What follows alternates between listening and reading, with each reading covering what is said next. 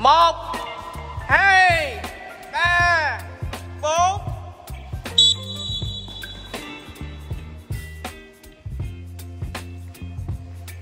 Giữ thăng bằng giang tay ra. Không để đổ người về trước. Hai, ba bước chéo bốn.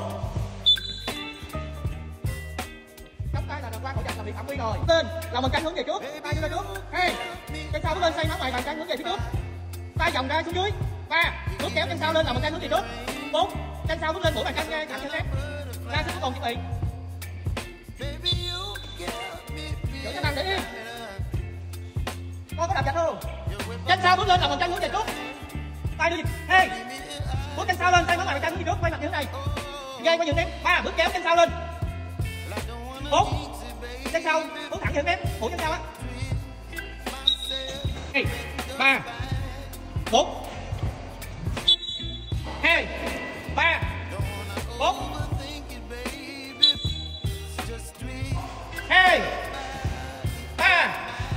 kéo bốn. Kéo tay giữ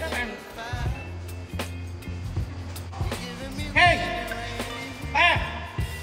Bốn.